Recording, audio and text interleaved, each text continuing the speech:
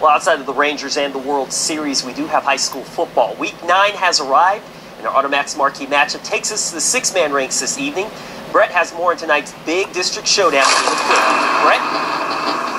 Ricardo, as you might expect, it's a little chilly tonight, but for the first time in three years, a six-man football game has been voted in by the viewers as our Automax marquee matchup. There's just two more weeks remaining in the regular season as both Abbott and Aquilla are fighting for playoff spots in the district title.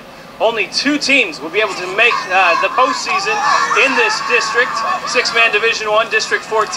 So if that doesn't heat up tonight's rivalry, listen to this. The two superintendents from both schools are brothers. David Edison is at Aquilla, Ricky Edison is with Abbott. But wait, there's more. Also, Brian Cooper used to be the defensive coordinator for the Panthers. Now he has hopped I-35 to join the Cougars.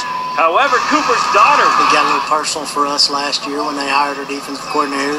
Uh, Coach Cooper had been with us for a real long time, so uh, you know it makes it a little bit difficult to look across the field and see a guy who's with you for 13, 14, 15 years, and on your uh, he's, he's on the Yeah, that feeds into the rivalry a little bit because he knows all them kids. They all know him. He trained them from the time they were little up till now. More and now he's got all guys. than we have any week of the season. I mean we, we're so ready to play those guys. We know they're going to bring out our game, and we're going to make sure we bring our A game. And it's a big rivalry. Been looking forward to it all year. You know, if they're just right down the road from us. You know, we know them and they know us. If it's it's going to be good. Uh, we all know them pretty good. Grew up with them.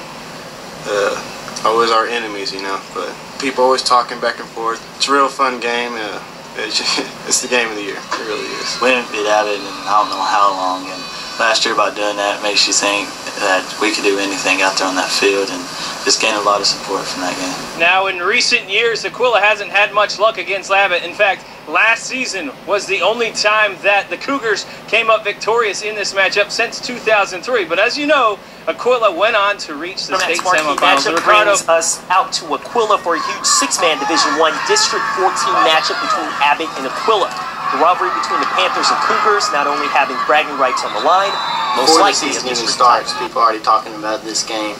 It's going to be a pretty big game, and we just hope to come out on top. We're just going to go out there and lay the wood on them, just hit them. Basically, our defense is going to win the game. One, the Cougars a perfect eight and up.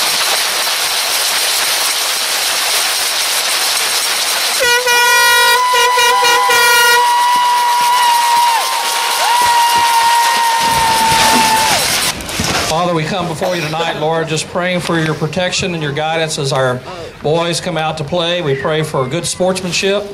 We pray for your protection from any injuries tonight. Lord, we just thank you that you brought us here safely, and we pray that you guide us home as well. It's in Christ's name we pray. Amen. This time we'll have the national anthem presented by the Aquilla School Band.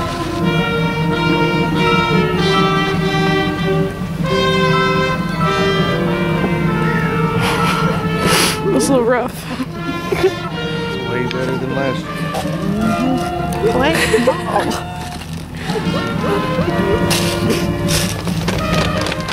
oh God.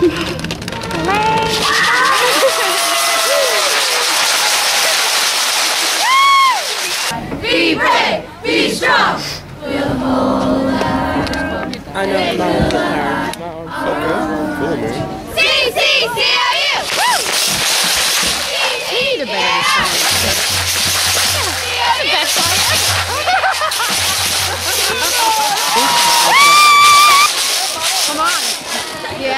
Yeah. Yeah. yeah. Going down, gold. Going down, gold.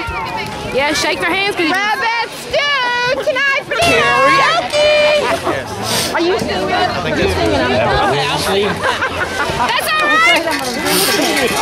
right.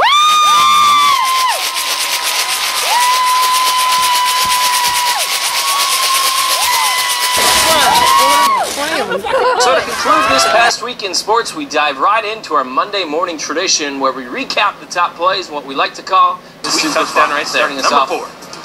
Friday night, our Automax marquee matchup, six-man football. Abbott and Aquilla. Justin Ince tosses it back to Shea Smith. Drops it over the Panther defense. Back to Ince. Talk about the ultimate game of keep away. Cougars win, and they stay unbeaten. Number three.